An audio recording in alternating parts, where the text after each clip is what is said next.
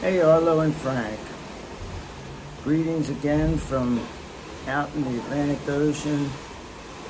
We're actually going to be in a new ocean by tomorrow when I do my last one of these on this cruise ship. I'm going to do two videos today, then one more tomorrow, which will be in, in the Mediterranean Ocean. By the time I do it, we'll be sailing along the coast of Spain. So you'll get to see Spain a little bit in the background. And um, the first thing that I want to talk to you today about is Aunt Edith's funeral. I told you about Edith yesterday. In 1996, I got saved. And, and when you get saved, people usually don't understand what that means. They think it means that you think you're better than them. Like, oh, I'm a Christian now, so I'm better than you. But really what it means is that you realize that you're a sinner and that you need Jesus in your life to save you. So that happened to me in, I believe, maybe February of 1996. At some point in time after that, Aunt Edith died. And I was asked to say something at her viewing, which is what Methodists call a funeral. The funeral's actually out at, the gravesite. But this was this was in the chapel at the Methodist home. And I got up there and a lot of people didn't understand what I was saying there either, because in Christianity, a lot of people take a cookie cutter approach to what the Bible says about what. And at the end of this, I, I had people come up to me and say, well, that wasn't really an appropriate Bible section that you read because that's for weddings. It's not, it's not for funerals. Nothing could be further from the truth. So you guys, as you get older and you wrestle with your faith, and right now, Frank, you're in your 20s, Arlo, you too. So you're at a different point in your growing up, although you're not even thinking about these things right now. Frank, I'm sure you're thinking about them all the time, especially given the, the background that you have in your family there in Salem County and in your natural family. Well, I mean, your natural family in Salem County, but some of that isn't natural by blood.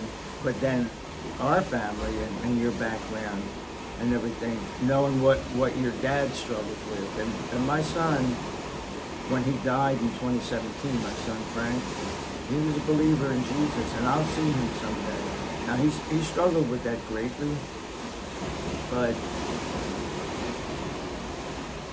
we all struggle somewhat. Some of us struggle more than others. But I have that hope. When I think back and say, well, could I have done something differently? Is this my fault? That I can say, well, you know what? After I became a believer myself, I told my son Frank about that, and then he gave his life to Jesus. So whatever decisions he made, he understood that those decisions affected him and they may affect other people, but no decision as a Christian means that you're better than somebody else. It usually means that you're just the person who realizes how wicked and sinful and, and horrible we are as human beings. So at the funeral, I got up and, and I, I read something before I read it, I said, look, in life we're supposed to be like Jesus, and none of us can be like Jesus. No man who was made could ever live up to being Jesus, because Jesus is God. And God is love. And so if we're supposed to be as much like Jesus as we, as we want, as, as, as we can be, then we want to be as much like God as we can be. Jesus is kind of the bridge. Even though he is God, he serves a little different purpose. It's hard for us to be like God. But what ties that together? God is love. So we want to be like Jesus, and Jesus is God, and God is love. So we want to be like love. Is there any place in the Bible that it tells you what love is? There sure is. 1 Corinthians chapter 13, verses 4 through 8. And they say this Love is patient, love is kind, it is not envious. Love does not brag, it is not puffed up, it is not rude, it is not self serving, it is not easily angered or resentful.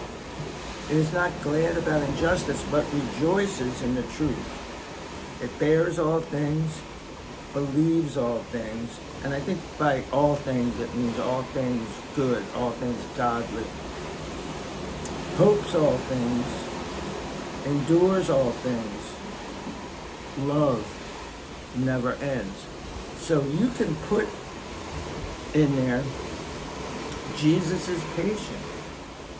Jesus is kind. Jesus is not envious. You can go through every one of those things, and they perfectly describe who Jesus is. When I first got saved, I learned this little exercise. I stole this from somebody. This is not my brilliance. They said to you, if you want to know if you're becoming more like Jesus every day, put your name in here. Frank is patient. Frank is kind. Frank's not envious. Frank does not brag, is not puffed up. I could go on and on and tell you lies about where I am,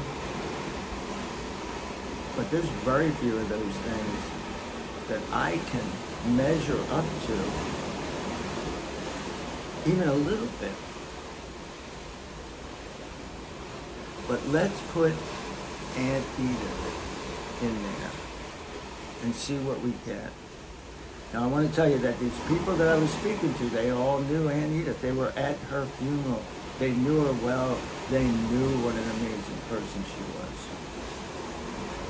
Aunt Edith was patient. Aunt Edith was kind. She was not envious. She did not brag. She was not puffed up. She was not rude. She wasn't self-serving. She was not easily angered or resentful. She was not glad about injustice, but rejoiced in the truth.